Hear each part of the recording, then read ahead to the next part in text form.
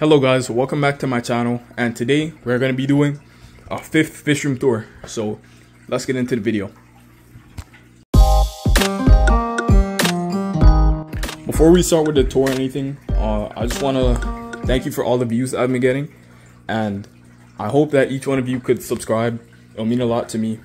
And yeah, let's get into the tour.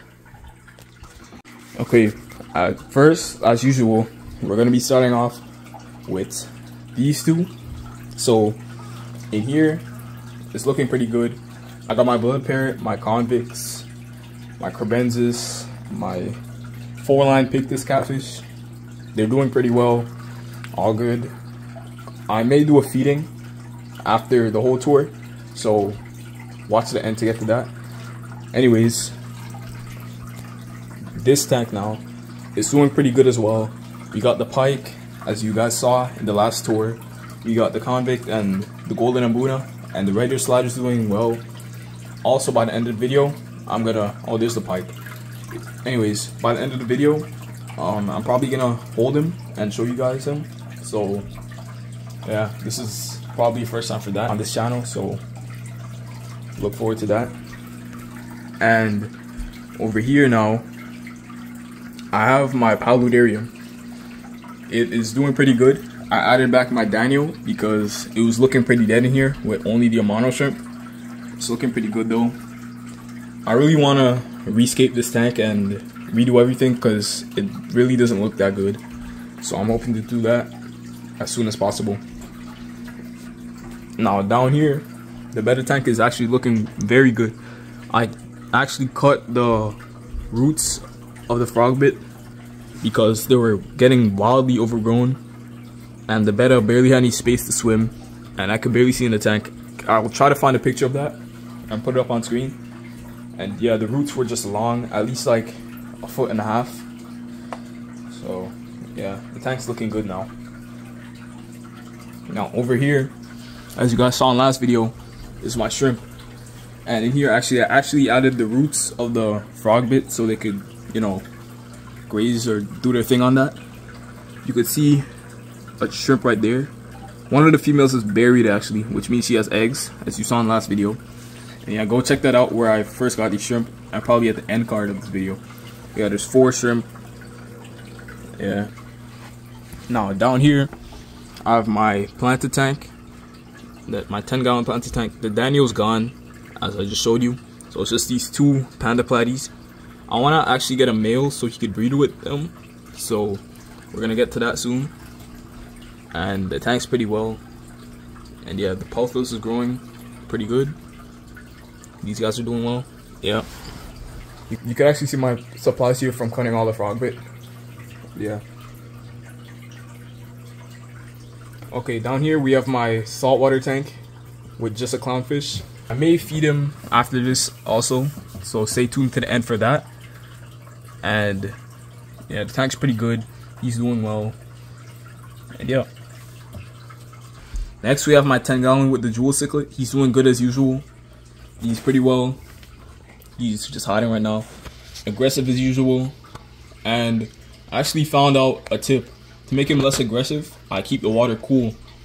So that actually makes sense why he was like way more aggressive in that tank because these guys actually had ick. So I had to bump up the temperature. As you can see, the heater's pretty high. It's on around like 90 something maybe. That's a little high for me. So that probably makes sense why he was aggressive because before the tank was a bit cooler and he was not aggressive at all. So that makes sense. But I don't really want to lower the temperature in this tank because I don't want the 8 to come back. So we'll just have to keep him in the 10 gallon. Now I'm to do the feeding for this tank, this tank, and the clownfish tank. I actually fed the betta earlier, so so I have all these options to feed the cichlids, so I don't know which one I should choose. I'll probably do uh I'll go with some flake. Okay, so I'm gonna set you guys up on a tripod. Okay, the top view of these guys eating is actually like really good, so I'm gonna try to get that.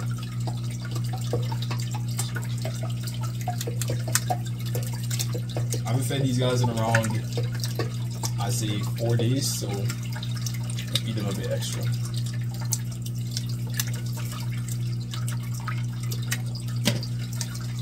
You could actually hear them nibbling.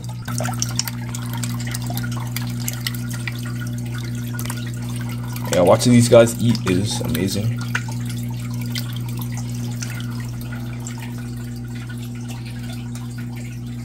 Now I'm gonna have to feed my four-line pictus some catfish pellets, so I'm gonna go ahead and get that. Here we have it. I feed him pretty, pretty secretly because the cichlids would take it from him. And I have to try to spot feed him so he gets it.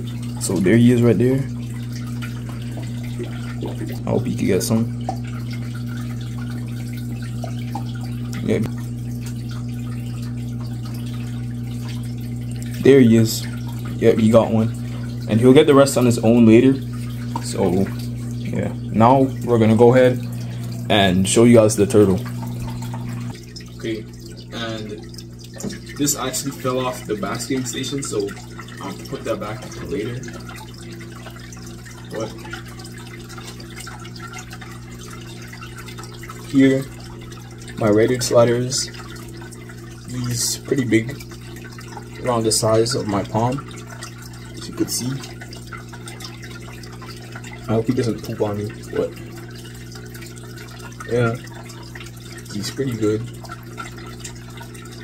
He's not really a biter, he doesn't bite a lot. The shell, he has um a bit of pyramiding, but he had that before I got him, so nothing too bad. And you could tell he's a male because his nails are long and his tail is pretty big he's tucking that in now, obviously. But yeah, he's pretty well around. I'd say five inches maybe, because I have big hands. So yeah, so I'm gonna go ahead and put him back into his tank.